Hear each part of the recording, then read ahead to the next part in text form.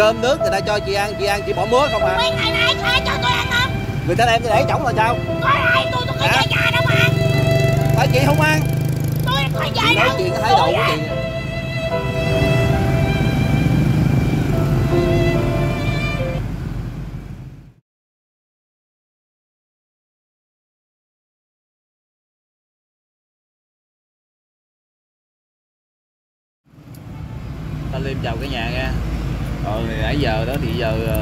đang ngồi ở ngoài ờ, đường chặn đạo nè, quý vị. Thật sự là bây giờ mình cũng ờ, mệt mỏi mệt mỏi mà phải đổi này được, mà chỉ nghe lời mình cũng đỡ nữa. Để bây giờ lại tiếp tục đi đuổi nữa. Thêm bây giờ mua về con chó nữa rồi. Nè. Bây giờ thanh liêm đi ra ngoài nói chuyện cùng với chị. Mời cả nhà cùng đón xem nha.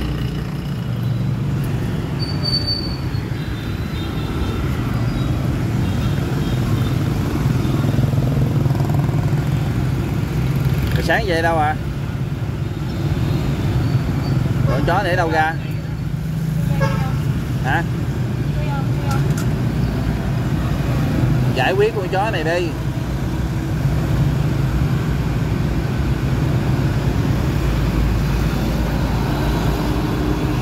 Khi tôi nói làm ơn nghe giùm tôi một cái, chị rất là khó mướn nhà trọ mà tôi kiếm được cái chỗ cho chị ở được là tôi rất là mừng. Mà bây giờ chị để là tiếp tục người ta đuổi nữa rồi đó chị thấy không? Thôi khỏi mướn đi tôi ở ngoài đường. ừ chị muốn ở ngoài đường vậy thì chị ở chứ giờ là cái đó là cái quyền của chị thôi. Ờ. đó.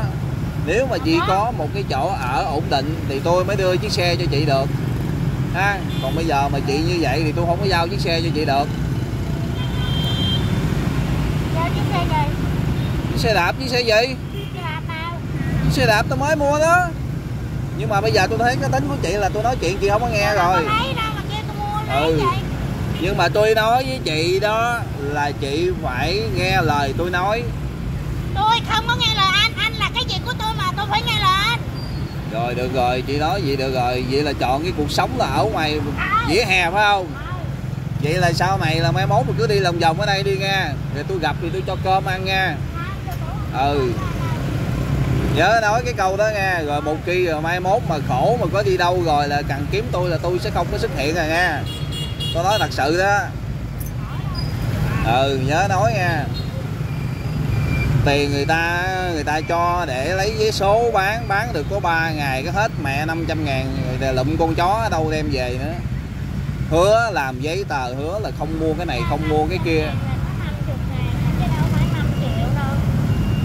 Chị làm gì ra số tiền 5 triệu? Bản thân chị làm ra 500 ngàn không? Hả? Có 50 ngàn Ờ, bản thân chị làm ra không? Mà người ta giúp mà sao chị không biết trân trọng?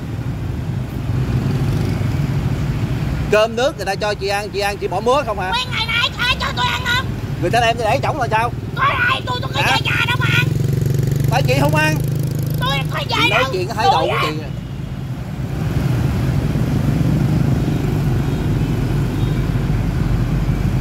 mẹ người ta giúp cho người ta cho cơm nước ăn không ăn rồi đem quỷ của đổ bỏ của người ta không. Chính bác út ở nhà trọ người ta chứng kiến người ta còn nói là bây giờ còn nói chuyện giọng gì nữa. Cơm ngày qua ta đem lại là bà lấy mà ăn luôn đó. Tôi không có ăn luôn hai phần luôn á. nghe nói là bỏ cơm bỏ nước không là bắt nóng về còn gặp cô chó. để giờ ta đuổi đó Không có ăn luôn nữa. Tôi với nó bỏ đó, bà đó bà thấy nó ăn đó kiểu này ai cho cơm mình ăn nữa. Chị biết một tháng thì cơm người ta cho cho chị là bao nhiêu tiền không? Chị dương tính không là một tháng gần 4 triệu bạc thì cơm của người ta đó. Tại sao chị không biết trân trọng? Tôi nói gì hoài chị phải suy nghĩ lại những lúc mà chị cơ nhở, chị ngồi ở ngoài đường, ngoài xá như vậy, trời nắng, trời mưa, không ai cho mình ăn hết trơn, chị phải nghĩ lại giùm chứ. Tôi nói chị biết hết trơn á chị tiếp nhận được hết trơn á, nhưng mà tại vì chị không muốn làm theo. Chị phải như ông tính. Ngày hôm nay tôi nói thiệt luôn á, tôi nói chị biết chị biết cái lời tôi nói thì sao, chị biết chị trả lời ra được hết trơn á. Còn tính là cái dạng là tính nó bệnh thật sự luôn. Tính nó rất là nặng. Ban đêm nó ngồi, nó nói chuyện nhảm mình nên, chị còn biết đi ngủ được. Tôi nói chị biết nhận định, chị biết trả lời, chị biết đối lại những câu tôi nói. Là chị không có tệ hơn tính. Tôi muốn cho chị tốt thôi có một cái chỗ ở cho nó ổn định. Mà cứ để người ta hết chỗ này người ta đuổi hết chỗ kia người ta đuổi. Mọi người, người ta đang thương mình mình có cái phước mình đang hưởng đó. Để mục tiêu không ai ta thương mình nữa rồi mình khổ dữ lắm.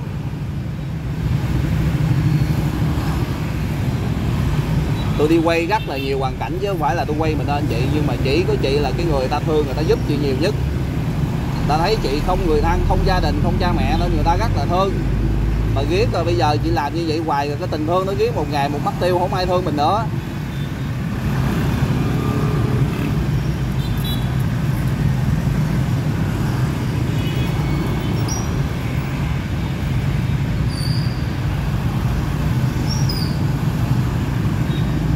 Khuyên hết lời luôn gán ở sao mà đừng để cho người ta đuổi mình đi. Mình cứ mỗi lần chị biết người ta đuổi chị đi, tôi rất là buồn, chị biết không? Tôi muốn cho chị ở có một cái chỗ nó ổn định, chứ tôi không muốn chị phải lang thang. Còn tính nó ti nó vậy đó, nó vẫn có nhà cửa, đất đai, nó có cha mẹ, anh em nó nó có chứ không phải không. Còn bản thân chị là chị chỉ có một mình anh chị à cho nên mình phải để cho mọi người ta thương. Tôi tôi đâu có muốn giữ thằng tính ở đây bao giờ tôi cũng muốn đưa cho thằng tính nó về mỹ hòa hưng hết trơn á. Nó có nhà, nó có đất. Nhưng mà do nó bệnh, nó không chịu về, nó cứ nói người ta đánh nó thế này thế kia, thế nọ thôi. Còn tôi là tôi muốn giúp cho bản thân chị đây nè. Mà nói chị hết lời luôn, chị đi tới đâu ờ tôi cũng đi tìm chị về. Mà nói chị khuyên chị hết lời mà chị không nghe. Để giờ người ta đuổi mình nữa ừ như bữa nào ừ không muốn ăn cơm thì nói với tôi một tiếng ừ bữa nay tôi muốn ăn cơm không khỏi kêu người ta đem qua không khỏi mua.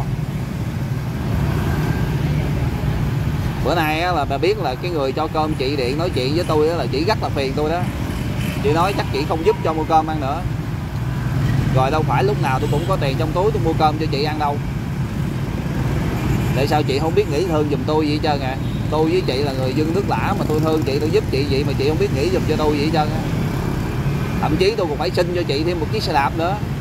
Tôi thấy chiếc xe này nó hư hao hết trơn rồi, bây giờ tôi xin cho chị được một chiếc xe đạp mới ngon lành nữa. Ai làm được gì cho chị? Nói hết lời luôn, nói điều muốn năn nỉ luôn. Tôi nói chuyện với chị bữa nay mà tôi muốn rớt nước mắt với chị luôn, tôi nói thiệt luôn á. Tôi vô mà tôi thấy người ta đuổi chị nữa ha, mà tôi thấy thêm con chó. Người ta đuổi tôi đã buồn rồi, nhưng mà khi tôi gặp con chó tôi càng bực thêm nữa. Công sức của tôi chị đạp đổ hết trơn tôi, tôi không muốn cho chị ở lang thang bụi bờ chị hiểu không? Thằng tính là tuy vậy nhưng mà nó vẫn có nhà cửa đất đai còn riêng bản thân chị là không có cái gì hết trơn không có người thân anh em dòng họ gì hết. Mình phải biết nghĩ mình thương bản thân mình lại một chút chứ trời.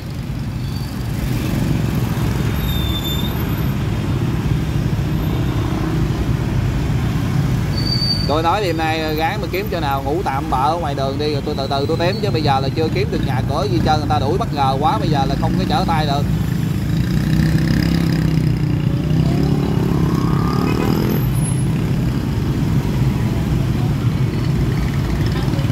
Tôi đang nghĩ đừng có tha ba cái đồ tầm bậy tầm bạ gì về trong nhà trọ, đi lụm da chai lông dịch gì xong chị đem với lại cái chỗ mua bán phế liệu gì đó chị bán luôn đi chị đừng có đem vô phòng trọ nữa rồi người ta thấy như vậy người ta không cho mình ở. Tôi nói giờ chị không có cặn gì cho một ngày, chị chỉ kiếm tiền, chị xài lặt vặt lặt vặt cho bản thân chị thôi, cơm một ngày hai buổi có người cho. Có người lo rồi, tiền chỗ ở mình cũng đã có người lo rồi. Mọi người thương mình, mọi người giúp cho mình thì mình cố gắng, mình trân trọng, mình giữ gìn giùm tôi một cái ban ngày chị muốn đi ra đường, chị làm bất cứ cái chuyện gì đó chị làm. Nhưng mà tôi tôi xin chị là đừng có đem ba cái đồ tầm bậy tầm bạ đi vô trong nhà trọ của người ta người ta không có thích. Đừng có nuôi chó nữa. Đã tôi sợ chị nuôi chó mà tôi đem ốc lên về bển tôi nuôi giùm cho chị. Chị biết một ngày nó tốn bao nhiêu tiền của tôi không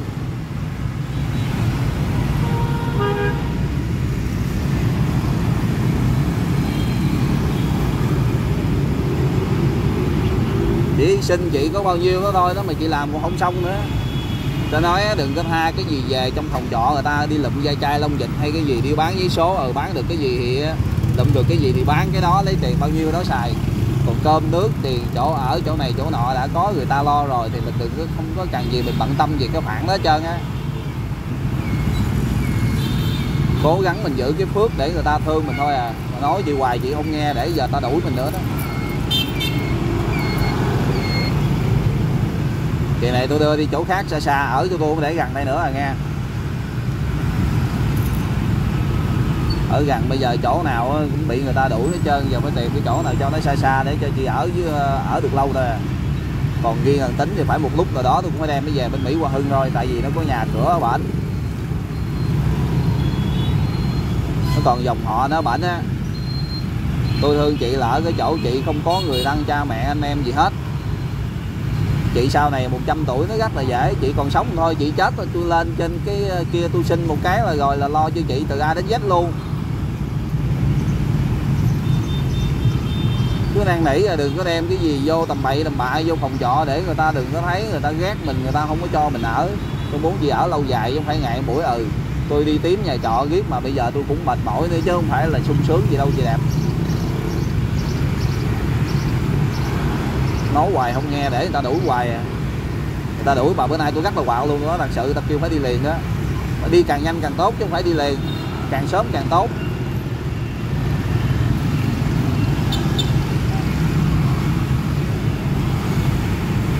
Tôi nói rồi nghe.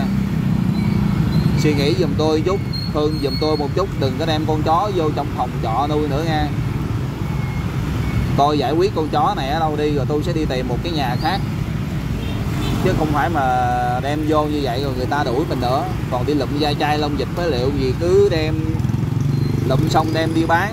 Còn cái chuyện ăn uống của mình là bây giờ mình không có thiếu thốn gì hết trơn, thì không có tội dại gì, mình mới đi nhặt ba cái đồ dơ, đồ bẩn ở ngoài mình đem về nhà mình ăn, rồi bệnh hoạn vô người mình đó. Ốc len bây giờ mà tôi còn không cho ăn đồ bẩn đó muốn chi bà. Một ngày ốc len là ba cử cơm tấm của tôi đó, là bà tính đi bao nhiêu tiền một tháng của tôi. Tôi nuôi một lên tôi còn hơn như vậy. Chẳng lẽ bà tôi là tôi bỏ cho bà ăn tầm bậy tầm bạ mà bà cứ đi kiếm ba cái đồ ở trong thùng rác mà đem mà về bà ăn hoài à? Bác út bữa nay nói cũng tha ba đồ bậy tầm bạ đem về nữa đó. Dán mà nghe lời giùm tôi đi đêm nay kiếm cái chỗ nào ngủ tạm ở bên ngoài đi. Bây giờ chút xíu nữa đâu đặng tôi đem cơm lại. Đợi đâu? Con liêm chào cả nhà nha. Bây giờ uh, tính là quay ra lại ngoài này ở này nữa rồi đó. Nói giờ bụng không? Nói tối là kêu ngủ ngơi không ngủ. Cứ nói sàm nói nhảm rồi ngồi chữ đề đủ má đủ mẹ một mình. Ảnh hưởng đến người ta xung quanh. Ở bên đây là bên chợ chứ không phải bên quê. Mà nói không nghe. Rồi để bây giờ bị đuổi đi rồi đó thấy không? Giờ đi về bên nhà nha đi nha đi về mỹ qua hơn nha vậy. Đi về bển đi rồi một hai hôm tôi qua một lần một hai hôm tôi qua một lần.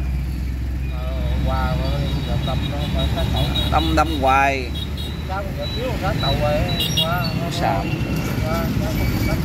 Mà bây giờ ông ở bên đây ông cứ vậy hoài là làm sao à, ông ở ông cứ nói xàm nói nhảm mình nên ông hoài à. Rồi cho mở ở.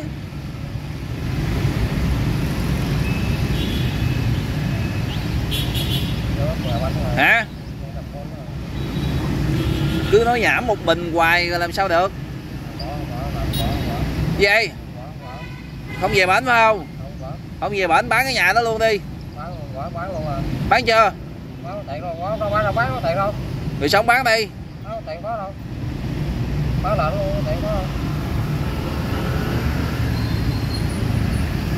Khổ thiệt chứ. Có nhà không chịu ở, giờ bỏ đi lang thang gì đó. Có đất chứ, mình nói cái nhà thì cũng không phải là cái nhà. Cái gì? Bây giờ cũng chấp nhận đi lang thang gì phải không?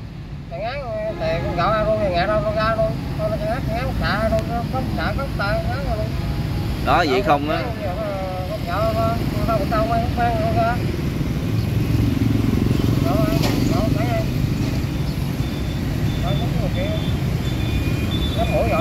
Tại sao tối không ngủ mà ngồi nói nhảm hoài vậy? Hả? Nói nghe rồi tại sao tối không ngủ? Nói nghe rồi tính. Mà làm gì ban đêm nào ông cũng ngồi ông nói nhảm mình lên không hết trơn à.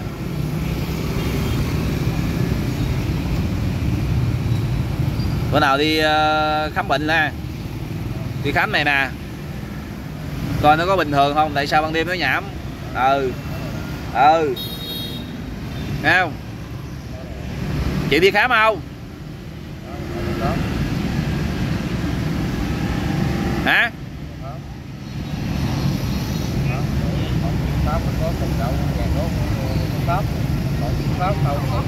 Kiểu này là tối nay mưa gió là ngủ ngoài này nữa nè. Chứ mà cứ nói nhảm hoài là không có cách nào mà không có cách nào mà cứu không được hết trơn phải chịu vậy thôi. Ra ngủ ngoài vỉa hè đi tiếp tục vỉa hè đi.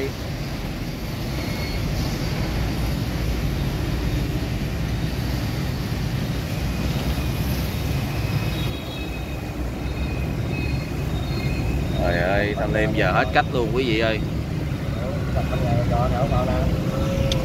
Tôi nói gì hoài nhà cửa mình không ở tự nhiên bỏ cho ta lấy. Cái gì? Sao đi đâu bên nhà cho ở luôn vậy nó ngắt cho rồi. Không test cậu bên chỗ rồi không rồi nó mũi nữa được không cái mũi này nó mua được không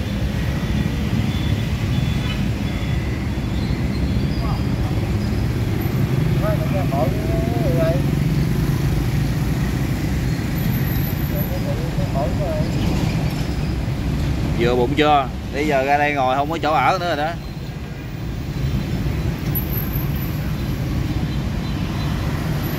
Đập phanh giò nhà cửa bảo anh đập phanh giò là giò ở đâu? Đập phanh giò ở đâu? Phanh giò ở đâu? Nó là mấy giò nằm ờ, mấy đứa cậu ở đâu? Mỗi mũi ở đâu?